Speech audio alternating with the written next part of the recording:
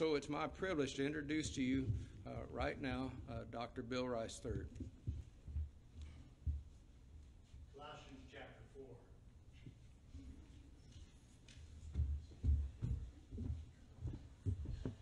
Let me say a couple of things first, and uh, then we'll look at the fourth chapter of Colossians. So when you find it, look up this way, and I'll know you're ready.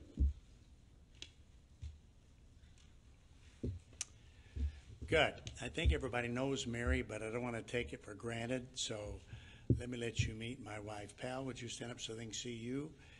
We have three kids. Will, you know, he's an evangelist. He's preaching tonight over in Lauderdale.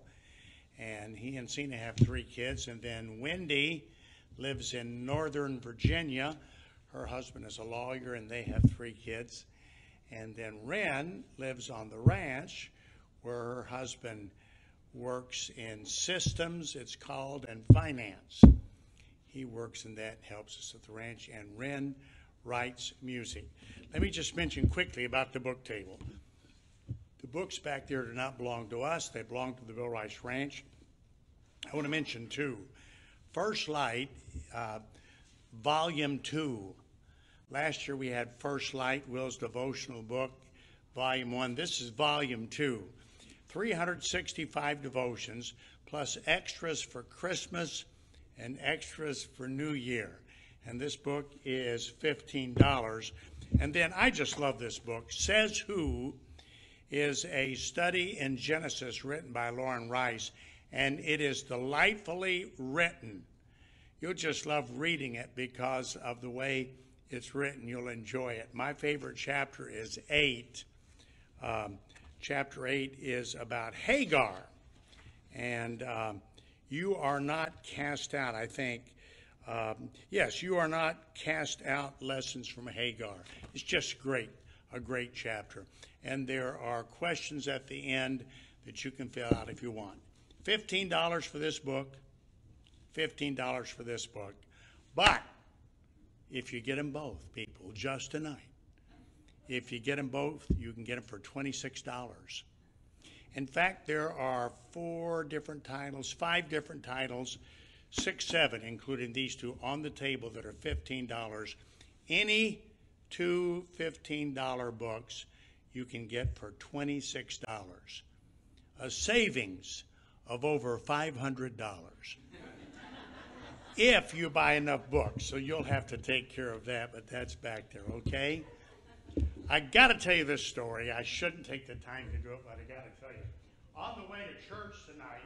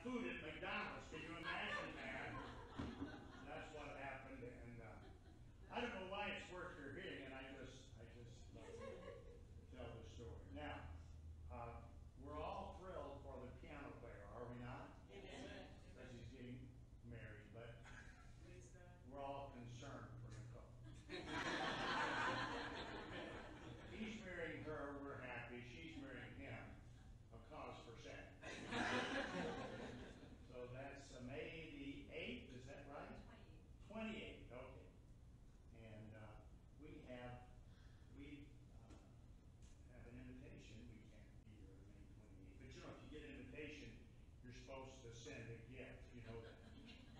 So we're sending Nicole an apple pie. Couple have asked about Will tonight, he's doing very well. Um, I've already mentioned he's preaching in the city, and, um, he had that, uh, light stroke, you know, a year and a half ago, he just come back, uh, just completely, and he's done very well, so I'm thankful for him. I'm gonna try to talk the pastor into having Will next year.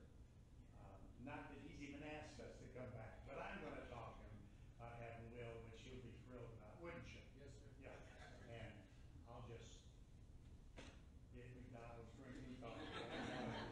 Okay, you got Colossians four. Here's an interesting passage of scripture, Colossians chapter four. Let's begin down at verse seven.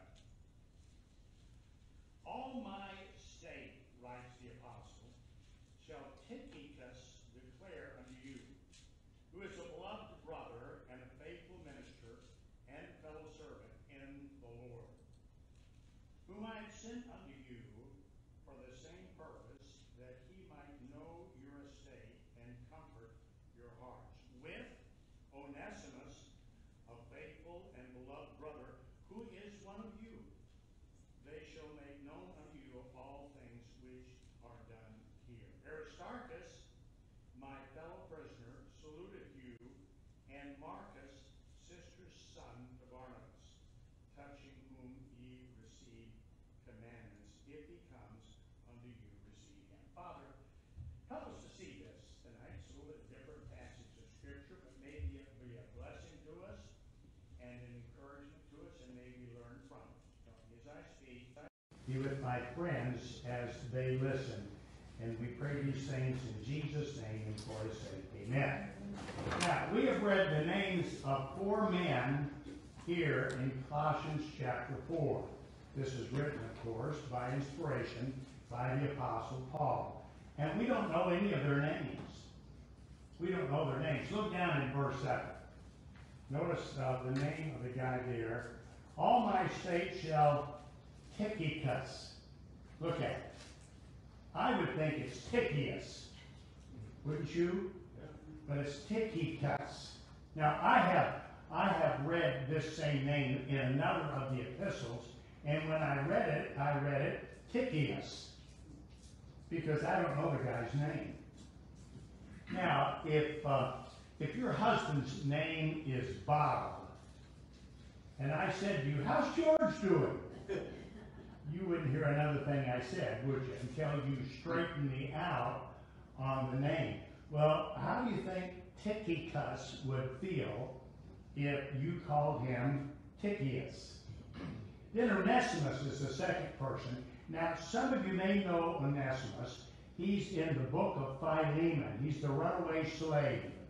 Do any of you remember him? He mm-hmm. ran away. He went to Rome. He was led to Christ by the Apostle Paul. And the book is a wonderful illustration of salvation by grace through faith. And that's Onesimus. The third guy is my favorite in this group. His name is Aristarchus. You'll find his name uh, in verse 10. Aristarchus. Uh, I have a friend when I was in Bible college, he was preaching out on the weekends and he mispronounced Aristarchus' name. He called him, are you ready for this? And Antipyrus. he said, and and Antipyrus. And the amazing thing is, the people there in the church didn't bat an eye. Hmm. They just all sat there like, yes, thank God for that wonderful saint, Antipyrus. Hmm. well, his name's not Antipyrus, it's Aristarchus. And then the last one is called Marcus. I had to look this up. This is John Mark who wrote the gospel. Okay, so we don't know their names. That's number one. Number two, we don't know what they did. If I said to you, this guy in verse 7, Tychicus, what did he do? Now, we don't know all that he did, but there is information about him in verse 7. Look back at verse 7 again. All my state shall Tychicus declare to you, who is a beloved brother and a faithful minister and fellow servant. Now, the word minister means servant. You know that, don't you? A minister is a person that ministers to people, so it means servant. So he is called a minister and my fellow servant.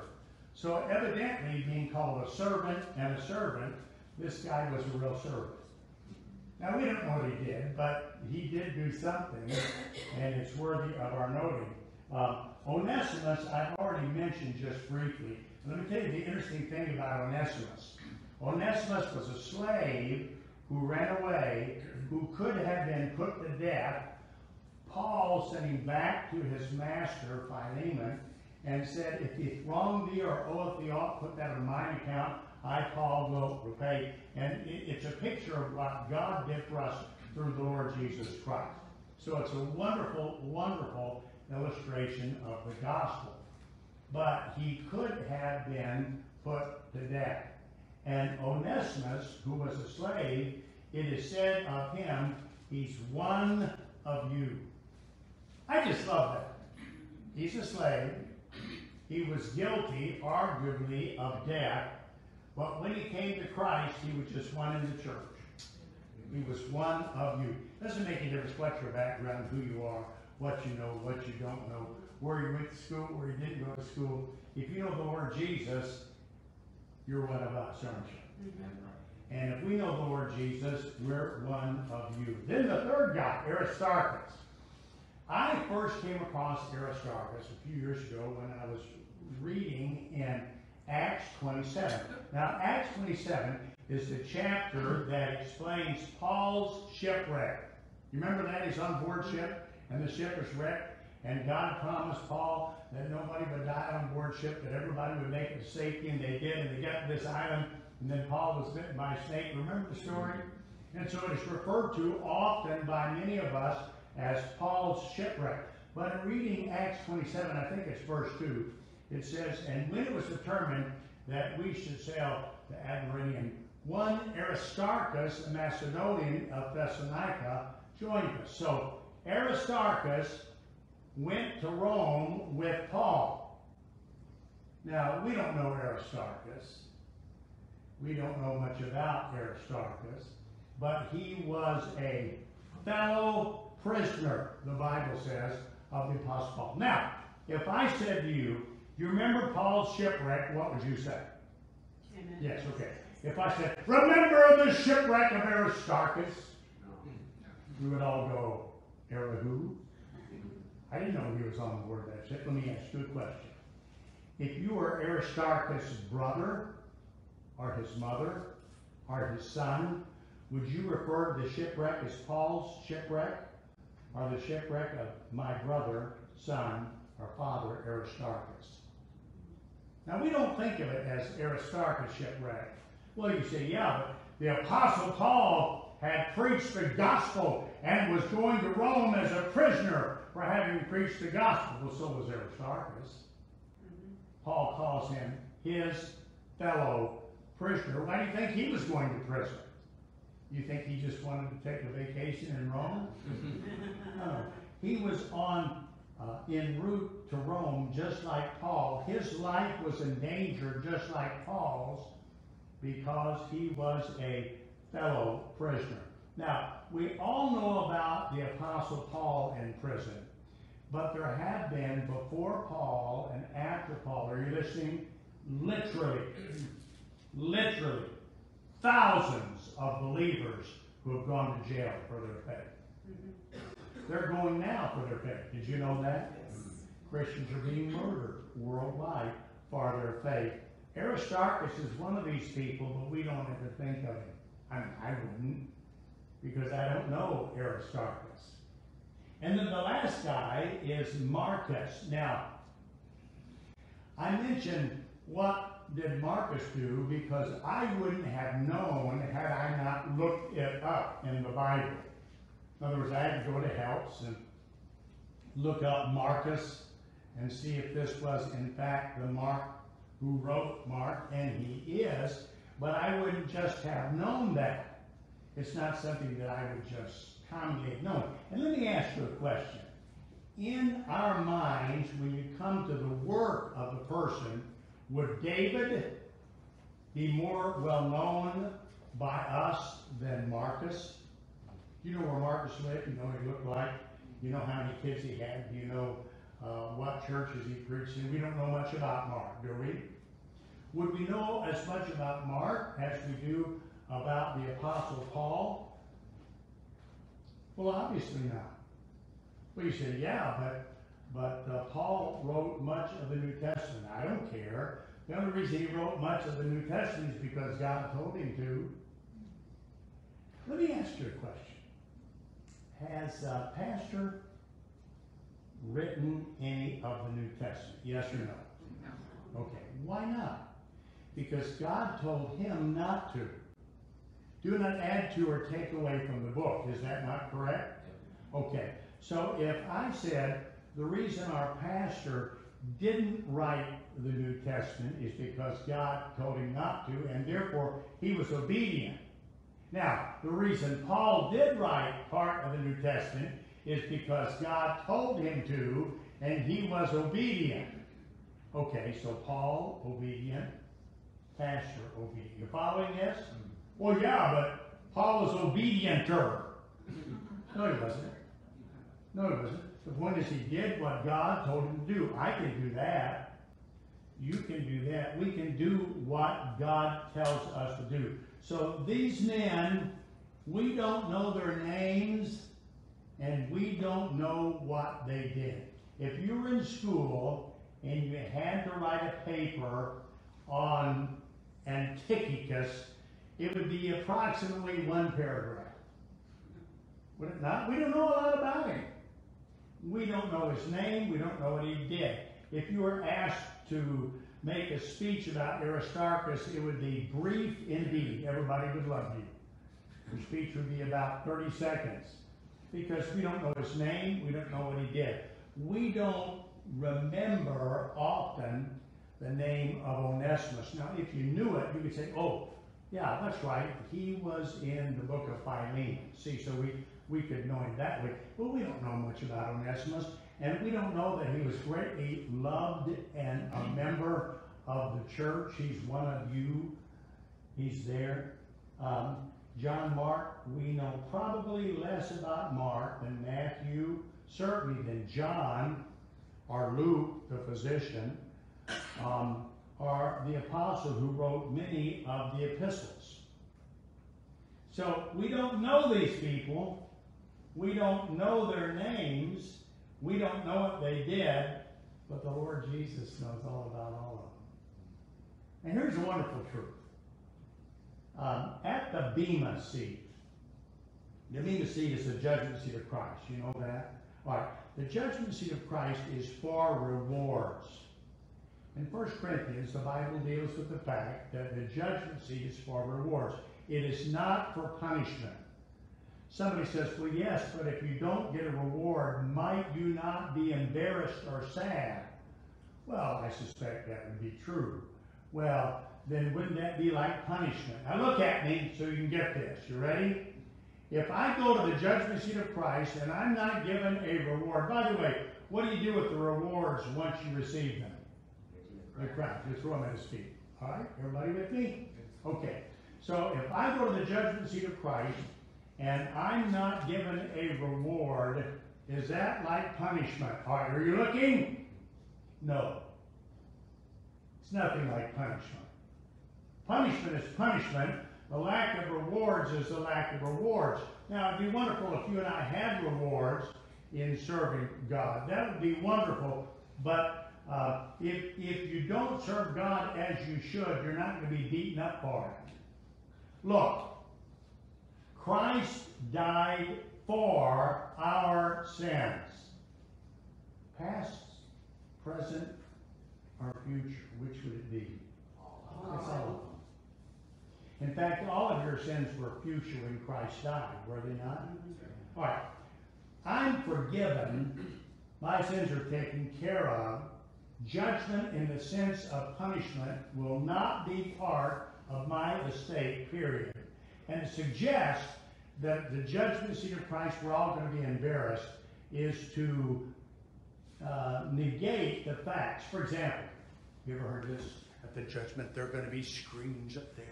And everything you did in life that was wrong and bad, every time you chewed gum in church, it'll be shown on the screen. And you're going to be so embarrassed. No, you're not. Because that's not what it's about. Uh, if there's sin in my life, can I be forgiven of it as a Christian? Yes. If there's sin in my life and I'm not forgiven of it, that is my fellowship is not restored with the Savior over it. It could be, but if it isn't, am I going to be slammed at the judgment? No. Listen to this passage. Galatians 6. Be not deceived, God is not mocked. Whatsoever man soweth, that shall he also reap. For he that soweth to the Spirit shall of the Spirit reap life everlasting. And he that soweth to the flesh shall of the flesh, uh, excuse me, he that soweth to the flesh shall of the flesh reap life everlasting. He that soweth to the Spirit shall of the Spirit, uh, he'll have everlasting uh, uh, truth to himself. And then it says, and let us not be weary in what kind? Can you help me with this? And let us not be weary in well doing, for in due season you shall reap if you faint not. Now look, Galatians 6, 7 through 9, which I butchered. Galatians 6, 7 through 9 is not talking primarily about sinning and then facing God with it. Now it does mention that. If you sow to the flesh, you will of the flesh reap corruption. That's true. It doesn't last, it corrupts. If you sow to the Spirit, you reap life everlasting. In other words, what you do for God lasts through eternity. But it's talking about reaping what you sow that is good. Look, somebody says you cannot sin and get by with it. That's true, isn't it? Yes. But you can't do right and get by with it either. And a lot of times we think you can't. We think, well, I did what was right, I gave, or I went to church, or I prayed, but nothing came of it. That's why the Bible says, don't be deceived. God is involved. What you sow, you reap. See, so don't be weary, as all of us tend to be, in well doing, for in due season we will reap if we faint not. Are you following all this? Mm-hmm. All right. Why then is it that we look on the negative side of it? And somebody says, you know, one day you're going to face God. Well, you are, aren't you? Okay, do you have to face God with dread and fear? Well, you say there's unconfessed sin in my life. Well, take care of it. Well, I haven't served God um, in every way that I wish I, I would have or I could have. Well, I know, do the best you can and serve the Lord. Let me ask you a question. At the Bema seat, when the name Aristarchus is called out, you think we will be frightened at what we hear or blessed by it? Blessed by it. When the name Tychicus is called out, you think we're going to go, oh my goodness, Tychicus, this could be rough, or do you think we're going to be sitting there with smiles on our faces being blessed? How about how about Onesimus? Isn't he going to be a blessing to me? How about um, how about every child of God who is named or unnamed in Scripture, but whose life is is exalted? For example, in Hebrews chapter 11,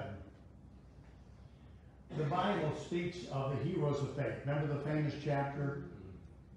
And in the middle of the chapter, after having said, uh, women have their dead raised to life again, and wonderful things have happened. The passage says, and this has always struck in my heart, it says, and others.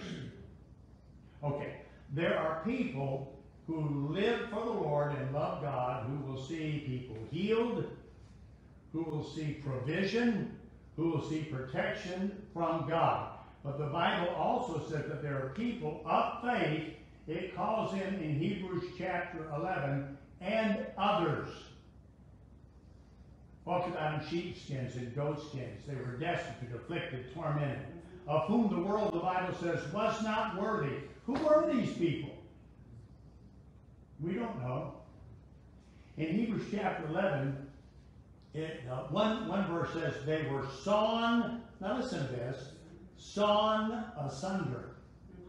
In other words, there were, there were God's people that were literally cut in half. They were in prison.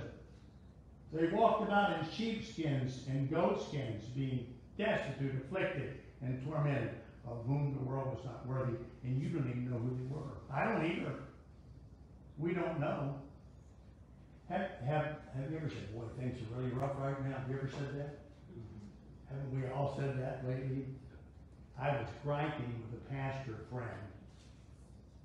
Now, don't get your mind on politics, all right?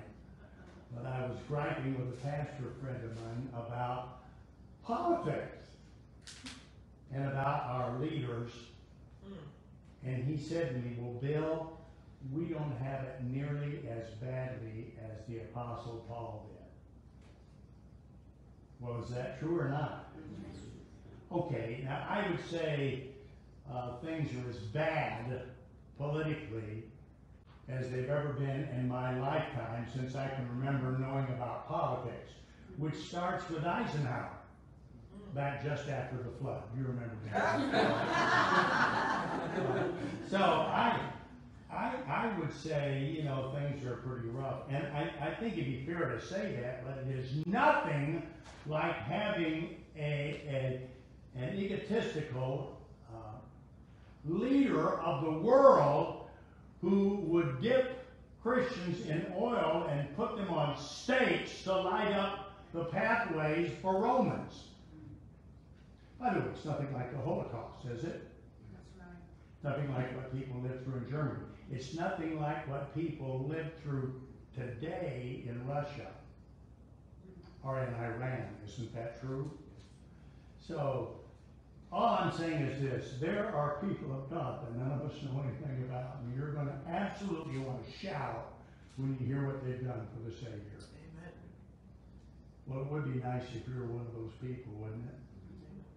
Well, then, okay, set out to be one. Uh, could you be a servant like Tychicus? Could you be one of the church like Onesimus? Could you be a fellow prisoner if necessary like Aristarchus? Could you obey God and what he tells you to do like John Mark? Couldn't we all do that? Uh, the Apostle Paul will, will, will stop with this. The Apostle Paul said in, in Timothy, the time of my departure is at hand. And he said, I'm, I'm, I'm ready. And he said, I have kept the faith. I've fought a good fight. Uh, he stayed the course. Well, let me ask you a question. Instead of saying, could I write part of the Bible, could you just say, I, I'll keep the faith? Couldn't we do that? Couldn't you, um, couldn't you um, live your life as best you know how, just for the Lord, just just serve Him? Couldn't we all do that? Somebody says, "Well, yeah, but I'm just I'm just a little nobody here in this church in uh, South Florida," and well, you're not a nobody to the Lord. God gave His Son for you. He died for you. You can serve Him, and you ought. And all things being equal, at the Bema seat, you ought to have a couple crowns to throw at Jesus' feet. Wouldn't that be wonderful? And if there's sin in your life, you don't have to carry it out of this room tonight. Just say, the, Bible says if we agree with God, if we say we do no sin, we deceive ourselves. But if we come to a place where we call sin what God calls it and agree with God about it, He will forgive us and cleanse us from all unrighteousness.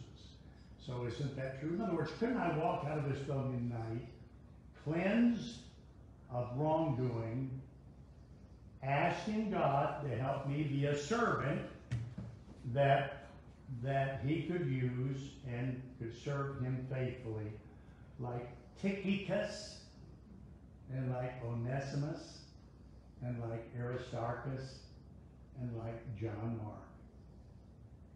They're not gonna headline the Super Bowl, you know that, don't you? But they're the kind of men that make the cause of Christ what it is today. And you can be in that group, and I can be in that. I don't know that I will ever, you know, be the, uh, the preacher that the apostle Paul was, but what's, so? I'm not, I'm not supposed to be like the apostle Paul, am I? In fact, it was the apostle who by inspiration said that when we compare ourselves with ourselves, we are not wise. Last summer, um, there's a family that stopped off at the ranch. The Dulles Ranch began in 1953. This will be our, our 70th summer.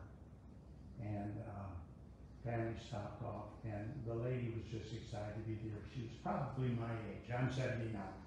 She's probably my age. And she said, Oh, yes, she said, we used to come to the ranch back in the day. She said, My dad always wanted us to hear the big preachers. Okay, now I know what she meant, and I, I appreciate that. There are preachers that we all thank God for, are there not? That maybe are well known. All right, that's fine. But if you're not a big preacher, but you're faithful, doesn't that count for something?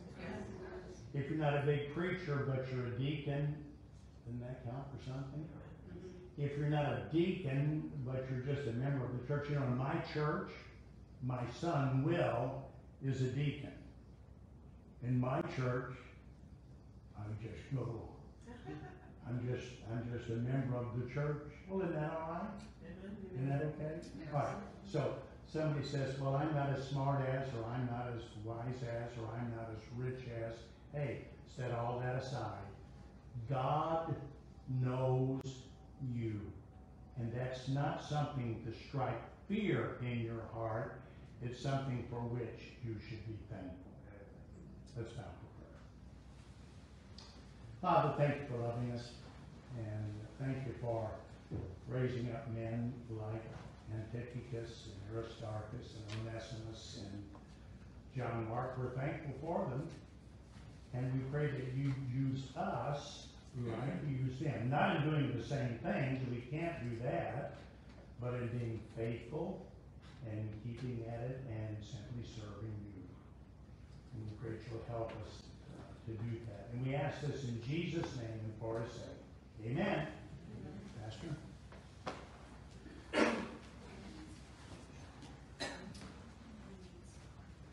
Amen. We're going to uh, stand together and uh, we're going to sing the hymn of invitation. And as we do, I want you to think about what you just heard and think about how the Lord can, how the Lord has, and how the Lord will use you. And uh, as, as Dr. Bill was speaking, I was thinking that uh, we, uh, another preacher I knew very well, Dr. Parker, said we can't all be great preachers, but we can all preach a great gospel. And, and there's so much truth in that. So how, how can the Lord use you? Well, ask Him, ask Him, and then be willing to do what He says. If God's spoken to your heart and you need to respond tonight, I'm here, uh, Dr. Bill's here, there are other folks here that can help you, pray with you, and uh, you come as the Lord leads you.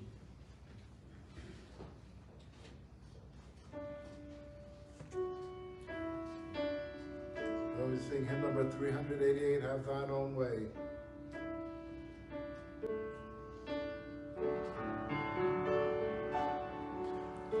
Have